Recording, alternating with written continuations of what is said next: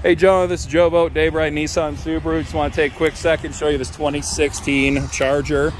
Uh, you're out here the other day. It's an awesome, awesome vehicle, black on black. Black rims, not even a scuff mark on the rims. Uh, tires look almost brand new. They're Yokohamas. Uh, really awesome tire. Actually, they are brand new. I can see the little nubs on them. Uh, this has tinted windows, front and rear, back as well with the uh, tint for the sun on this front windshield.